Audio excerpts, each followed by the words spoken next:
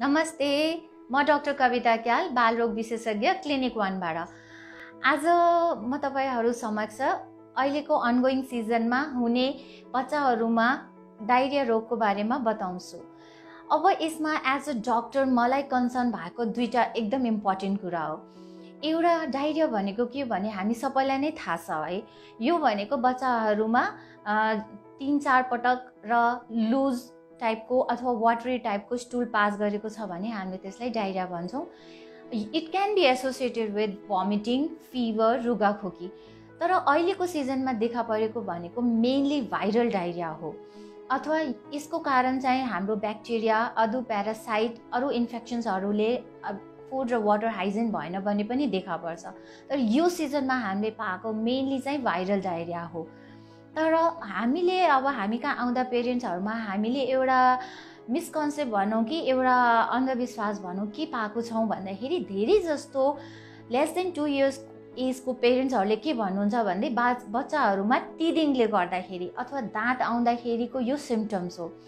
त्यो भन्दाखेरि उहाँहरूले बच्चालाई समयमै डक्टरको सल्लाह नलि नलिनु भएको छ। त्यो नलिँदाखेरि के भयो भन्दाखेरि उहाँहरूले एउटा सिम्पल डाइरिया जुन जुन कि हामीले एउटा सिम्पल म्यानेजमेन्टले सच्याउन सक्छौँ भने उहाँहरूले उसलाई डिहाइड्रेसनको कम्प्लिकेसनतिर लगेर भर्ना गर्ने अवस्था पनि देखा परेको छ।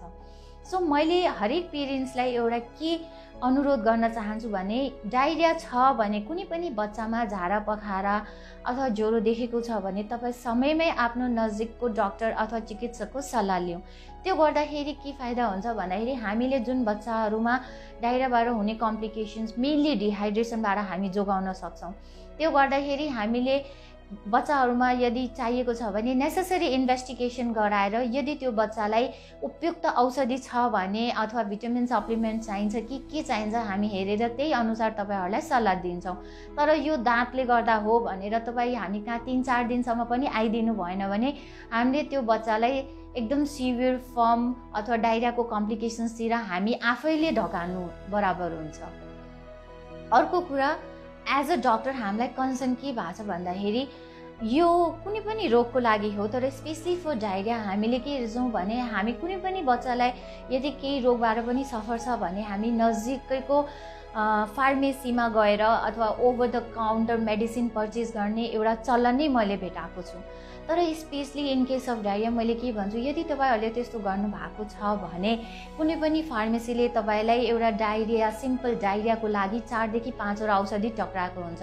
जसमा तपाईँलाई एउटा एन्टिबायोटिक एउटा एन्टिप्रोटोजोल तपाईँलाई एउटा डाइजेस्टिभ इन्जाइम एउटा मल्टिभिटामिन एउटा अर्को तपाईँलाई प्रोबायोटिक्स अथवा प्रिबायोटिक्स दिएकै हुन्छ।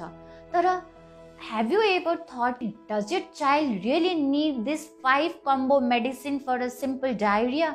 No I don't think so because डाइरियामा सबभन्दा प्रमुख चाहिने भनेको जीवनजल हो।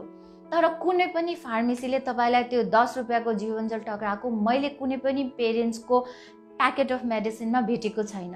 So please be cautious don't encourage यो self to buy over the counter medicine तपाईँले यदि डक्टरको सल्लाह लिएको भए हामीले नेसेसरी इन्भेस्टिगेसन गरेर त्यो बच्चालाई चाहिने औषधि चाहिने एन्टिबायोटिक मात्रै लेख्छौँ।